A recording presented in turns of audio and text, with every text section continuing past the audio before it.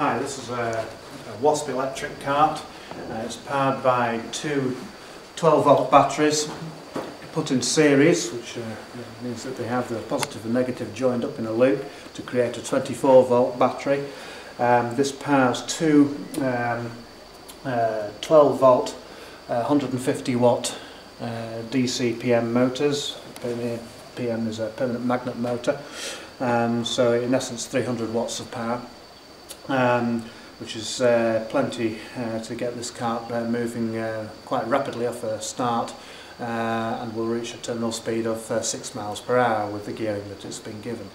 Um, uh, we've just tested this machine uh, with me on it. Uh, I'm approaching 20 stone and it will accelerate rapidly uh, with me on it and uh, certainly uh, shows no sign of lacking in power.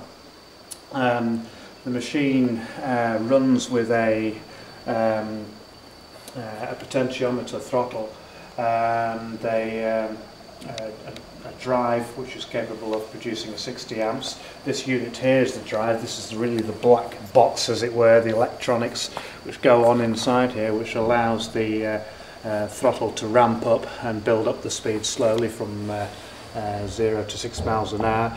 Uh, it doesn't allow the batteries to give all of their power at once, uh, which would in essence burn the motors out. Um, so it's a gradual throttle rather than just a simple on and off. Uh, this is protected with a uh, 40 amp um, uh, circuit breaker fuse. Um, and we also use this as a simple on and off device. So as the cart is uh, in storage um, if the batteries are connected uh, you have uh, an off position. And then to turn the cart on you have an on position. This will trip also if there are any electrical faults.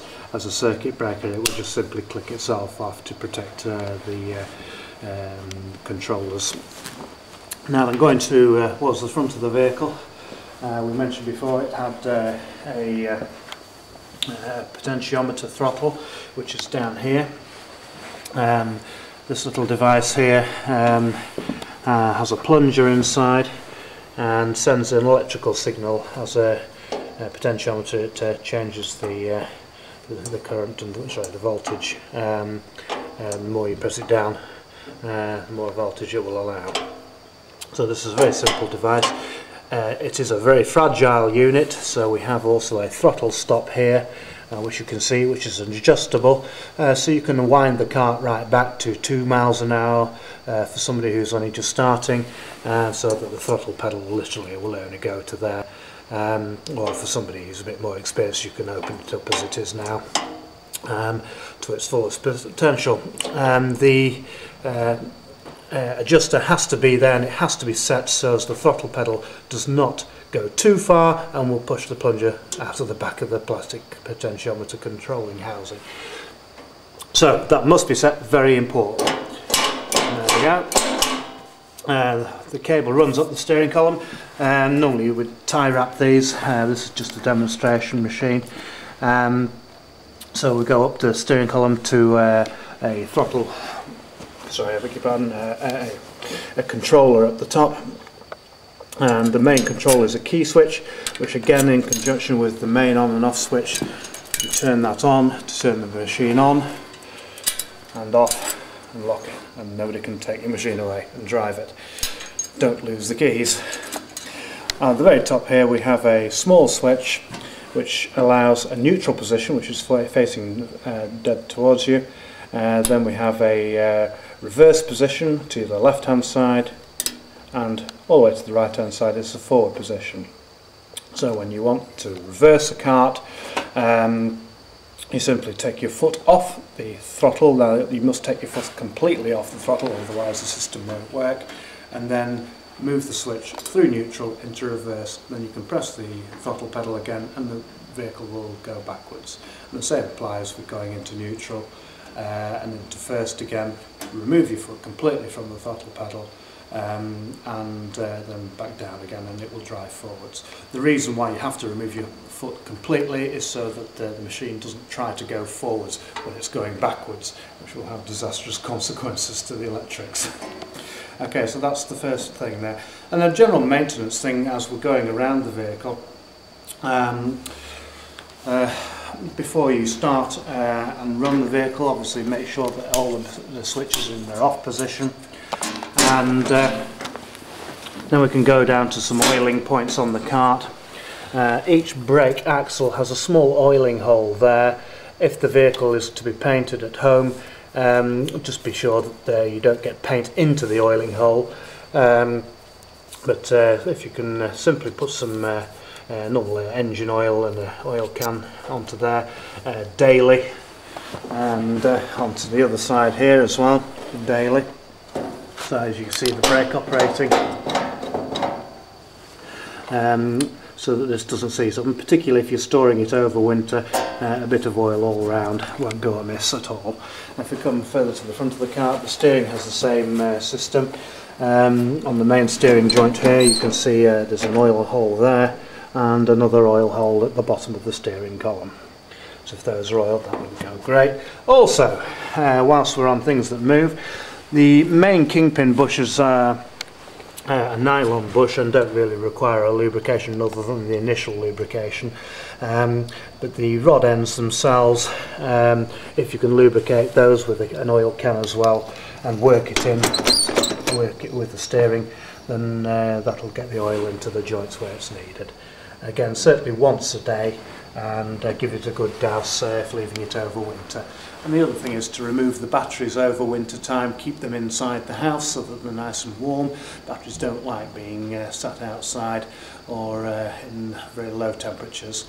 Um, make sure they've got a full good charge in them and they get a trickle charge uh, every month during the winter time just to make sure that they're topped up fully ready for next time.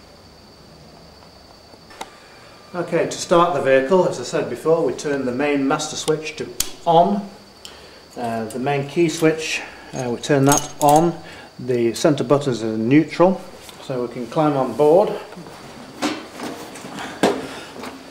This cart is designed for uh, teenagers and smaller, and uh, I'll show you later, but it will actually um, uh, slide telescopically smaller for smaller children and it will also have the ability to take the machine and put it into two sections so it will easily collapse up into the hatchback car or if it's on full length it will easily fit into a, a, car as it is. Now all switches on, all feet on board. Um, we've got a throttle pedal on the right hand side and a brake pedal on the, right, on the left hand side. Um, what we need to do now is to simply put it into forward position and squeeze the accelerator cable, accelerator nice and slowly and you'll see it goes forward. And to do the same, through neutral, into reverse, and then press the button again, and away we go.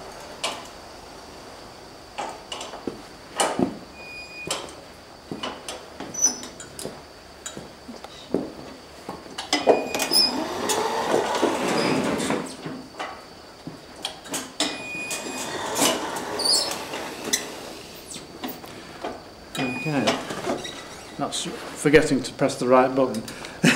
Down to forward, up to park, into neutral, and that's it.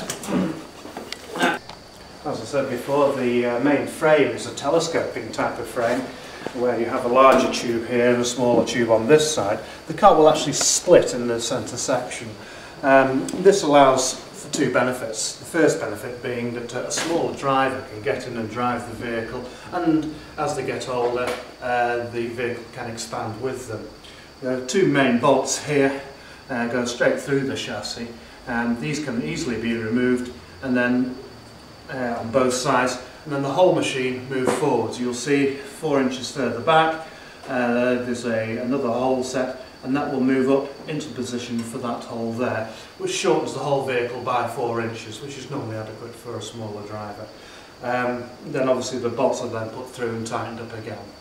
Um, the other benefit for this is that the vehicle can actually be split into two if you've only got a small car um, for driving around um, and then uh, the, the car can easily be folded into and uh, handled in two pieces. Um, and that would simply be done by taking those two bolts out there, uh, loosening the cable and then just simply pull the machine apart and uh, you can collapse it up into a, a small box uh, allowing it to be transported.